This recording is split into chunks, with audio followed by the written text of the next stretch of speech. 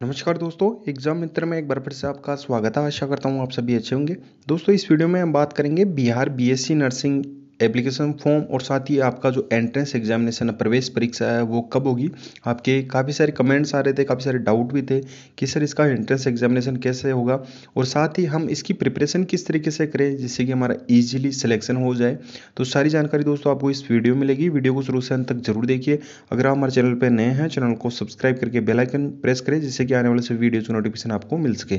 तो दोस्तों, आपके बिहार में बीएससी नर्सिंग के लिए एक प्रवेश परीक्षा कंडक्ट करवाई जाती है। जिसे Bihar combined entrance competitive examination board के द्वारा कंडक्ट करवाई जाती है। तो इसमें जो आपके गवर्नमेंट कॉलेज हैं, वो पार्टिसिपेट करते हैं और उन गवर्नमेंट कॉलेज में आप जितना अच्छा स्कोर करते हैं और उस बेसिस पे ही आपकी मेरिट लिस्ट निकाली जाती है और उस मेरिट पे ही आपको एडमिशन दिया जाता है। तो दोस्तों, बिहार के बीएससी नर्सिंग में एडमिशन लेने के लिए क्या एलिजिबिलिटी क्राइटेरिया रहेगा पेपर पैटर्न क्या रहेगा सिलेबस वगैरह मैंने डिटेल में आपको सेपरेट वीडियोस में जानकारी प्रोवाइड करवा रखी है। तो आप हमारे चैनल पर जाके वो वीडियो देख सकते हैं, जिसमें आपको कंप्लीट इन्फॉर्मेशन मिल जाएगी। जैसे कि आपकी eligibility criteria exam pattern total seat कितनी है फ़ीस क्या रहने वाली है सिलेबस वगैरह और आपका एंट्रेंस एग्जामिनेशन किस तरीके से होगा? तो आपको बी या बिहार नर्सिंग का आपको प्लेलिस्ट बना रखी है 2022 सेशन के लिए। तो उस प्लेलिस्ट में आपको वीडियो मिल जाएगा। उस वीडियो में आप सारी जानकारी प्राप्त कर सकते हैं। तो ये वीडियो है दोस्तों। इसको ऑलमोस्ट काफ़ी सारे स्टूडेंट ने देखा भी है। उसमें जिन कैंडिडेट के डाउट थे, वो इस वीडियो में क्लियर किए जाएँगे कि आप अपनी प्रिपरेशन किस तरीके से करें। और आपका एंट्रेंस एग्जामिनेशन कब होगा और एप्लीकेशन फॉर्म कब से फिल किए जाएँगे। तो दोस्तों, अगर एप्लीकेशन फॉर्म की बात की जाए तो अभी आपके जो ट्वेल्थ का रिज़ल्ट है, वो जारी कर दिया गया है। बिहार स्टेट का और उसका अभी ऑब्जेक्शन लिए जा रहे हैं। अगर किसी भी स्टूडेंट को कोई ऑब्जेक्शन है उसके रिज़ल्ट में तो आपको 30 मार्च तक की डेट दी गई है। 30 मार्च तक आप ऑब्जेक्शन रेज कर सकते हैं ऑफिशियल वेबसाइट पे जाके। तो दोस्तों, हर एक स्टेट में जो एंट्रेंस एग्जामिनेशन कंडक्ट करवाया जाता है एडमिशन के लिए तो वो ट्वेल्थ के एग्जामिनेशन के बाद में ही कंडक्ट करवाया जाता है। तो इस बेसिस पर अगर देखा जाए तो आपके जो एप्लीकेशन फॉर्म है, वो आपके अप्रैल के फ़र्स्ट वीक या सेकेंड वीक में आपके एप्लीकेशन फॉर्म है, वो रिलीज़ कर दिए जाएँगे। फ़र्स्ट या सेकेंड वीक में और आपकी जो एग्ज़ाम है, वो दोस्तों आपके जून में आपकी जून के लास्ट में या जुलाई में आपकी हंड्रेड परसेंट आपकी कंडक्ट करवाई जाएगी।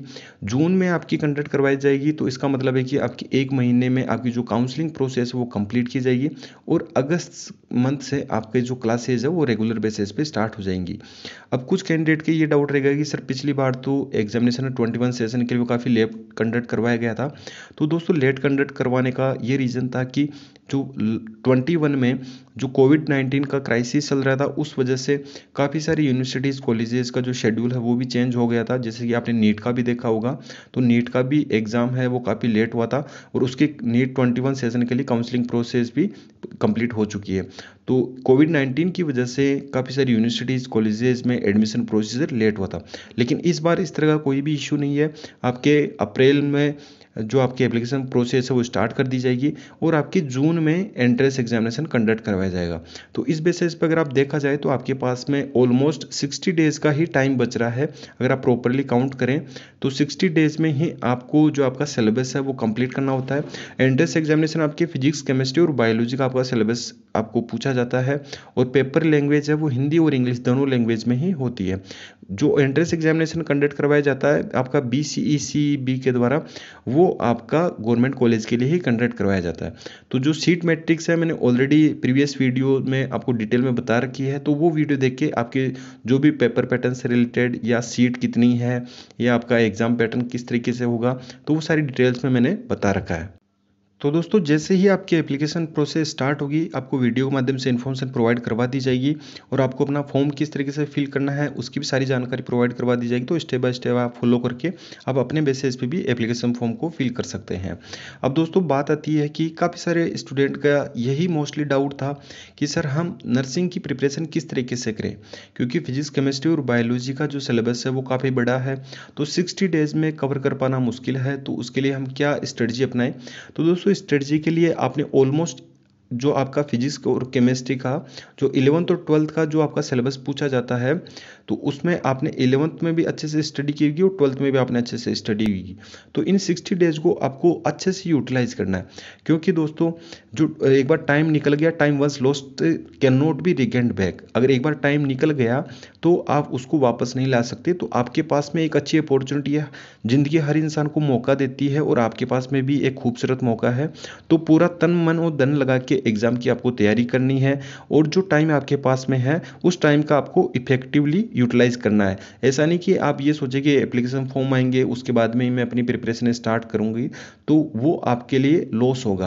आप अपनी सीट रिज़र्व नहीं कर पाएँगे और आपकी जगह जो स्टूडेंट इस टाइम पे स्टडी पे फोकस कर रहा है, वो आपकी जगह जो गवर्नमेंट सीट है, वो ले जाएगा। तो मेरा यही कहना है कि आप ज़्यादा से ज़्यादा क्वेश्चन प्रैक्टिस कीजिए, क्योंकि ऑलरेडी आपके जो कंसेप्ट है, वो क्लियर है। आपने इलेवंथ की स्टडी की है, आपने ट्वेल्थ की भी स्टडी की है। तो जो आपके जो सिक्सटी डेज़ का भी टाइम बच रहा है, इसमें आप ज़्यादा से ज़्यादा क्वेश्चन प्रैक्टिस कीजिए। जितने ज़्यादा क्वेश्चन प्रैक्टिस करेंगे, उतना ही ज़्यादा आप अच्छा स्कोर गेन कर पाएँगे। तो उसके लिए दोस्तों मैंने आपको डिस्क्रिप्शन बॉक्स में ई बुक प्रोवाइड करवा रखी है, जिसमें आपका फिजिक्स केमिस्ट्री और बायोलॉजी कंप्लीट सिलेबस कवर करती है। ये आपकी हिंदी मीडियम के जो कैंडिडेट है, उनके लिए हैं और इंग्लिश मीडियम के जो कैंडिडेट है, उनके लिए भी प्रोवाइड करवा रखी है। तो आप अगर इस ई बुक को अच्छे से फॉलो कर लेते हैं सिक्सटी डेज़ में, वैसे दोस्तों, ये काफ़ी बड़ी है तो आप ये ना सोचें कि मैं इसे दो दिन में या पाँच दिन में इसको कवर कर लूँगा, क्योंकि सफलता पाने के लिए दोस्तों, कोई भी शॉर्ट वे नहीं होता है। आपको सफलता अगर पानी है तो सीढ़ियाँ तो चढ़नी होगी और सीढ़ियाँ चढ़ने के लिए आपको मेहनत करनी होगी तो आपके पास में सिक्सटी डेज़ का जो प्रॉपर टाइम बचा है, इसको आप सही तरीके से यूटिलाइज कीजिए और आप जो ई बुक मेरे द्वारा प्रोवाइड की गई है, अगर आपने इसको अच्छे से फॉलो कर लिया दोस्तों तो आप जो बिहार बीएससी नर्सिंग का एंट्रेंस एग्जामिनेशन कंडक्ट करवाया जाएगा गवर्नमेंट कॉलेजेस के लिए, उसमें आप हंड्रेड अपने लिए सीट है, वो कन्फर्म कर लेंगे।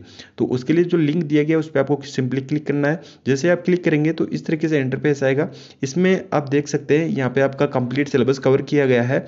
तो इस ई बुक को अवेल करने के लिए आपको सिंपली बाय नाउ पे क्लिक करना होगा। ये बाय नाउ का बटन दिया गया है। इस बाय नाउ पे आपको क्लिक करना होगा। जैसे आप बाय नाउ पे क्लिक करेंगे दोस्तों तो इस तरीके से इंटरफेस आ जाएगा। इसमें आपको अपना नाम फिल करना है। अपनी active email ID email ID आपकी एक्टिव होनी चाहिए, जिसके आपके पास में पासवर्ड हो। अपनी कॉन्टैक्ट डिटेल्स और आपको नेक्स्ट पे क्लिक कर देना है। जैसे ही नेक्स्ट पे क्लिक करेंगे दोस्तों, आपको पेमेंट के लिए पूछा जाएगा फ़ोन पे Paytm debit card credit card net banking जिस भी मोड से आपको पेमेंट करना हो, उससे आप पेमेंट कर सकते हैं। पेमेंट कन्फर्मेशन के बाद में आपको डाउनलोड फ़ाइल का ऑप्शन आएगा तो वहाँ से आप अपनी ई बुक को डाउनलोड कर सकते हैं। अगर वहाँ से आप अपनी ई बुक को डाउनलोड नहीं कर पाते हैं तो दोस्तों, जो आपने यहाँ पे ईमेल आईडी फिल की है एक डाउनलोड फ़ाइल का लिंक आपको इस ईमेल पे भी जाएगा तो वहाँ से भी आप अपनी ई बुक को डाउनलोड कर सकते हैं। और दोस्तों, अगर कोई भी डाउट है, कमेंट बॉक्स में पूछ सकते हैं, या मुझे इंस्टाग्राम फॉलो करके वहाँ से भी जानकारी ले सकते हैं। इंस्टाग्राम का लिंक आपको डिस्क्रिप्शन बॉक्स में दिया गया है। तो दोस्तों, ये 60 डेज़ है, ये आपके कैरियर को डिसाइड करने वाले हैं। तो अगर आप इन 60 डेज़ को अच्छे से यूटिलाइज करते हैं और आप इन 60 डेज़ में इलेवंथ और ट्वेल्थ की जो आपका सिलेबस है, अगर आप उसको अच्छे से प्रॉपरली फॉलो करते हैं तो फिर आपको ज़िंदगी में कभी भी इलेवंथ और ट्वेल्थ की स्टडी आपको नहीं करनी होगी। फिर आपको कॉलेज में जाने के बाद में अपनी जो बीएससी नर्सिंग का सिलेबस है, वही आपको रीड करना होगा। लेकिन आप अगर एक बार गवर्नमेंट कॉलेज में एडमिशन ले लेते हैं तो दोस्तों आप इकोनॉमिकली भी अपनी फैमिली का आप सपोर्ट कर सकते हैं, क्योंकि अगर आप प्राइवेट में एडमिशन लेते हैं तो प्राइवेट में आपके पर ईयर के ही आपकी डेढ़ से दो लाख रुपए की आपकी फ़ीस रहती है प्राइवेट कॉलेजेज में। और आजकल प्राइवेट कॉलेजेज में भी एडमिशन ईजिली हो पाना मुश्किल है, क्योंकि सभी जगह पे एंट्रेंस एग्जामिनेशन के बेसिस पे ही आपको एडमिशन दिया जा रहा है, चाहे प्राइवेट हो या गवर्नमेंट हो। तो अगर आपको एडमिशन लेना है तो आप गवर्नमेंट की अच्छे से प्रिपरेशन कीजिए गवर्नमेंट सीट आपको मिल सके। और उसके लिए आपको थोड़ी सी मेहनत करनी होगी। केवल आपकी ज़िंदगी के, आपकी लाइफ की ये सिक्सटी डेज़ सबसे इंपॉर्टेंट है। अगर आपने इन सिक्सटी डेज़ को पूरे डेडिकेशन के साथ में दे दिया। तो दोस्तों, ये सिक्सटी डेज़ आपको ज़िंदगी भर याद रहेंगे और यही आपके करियर को डिसाइड करेंगे।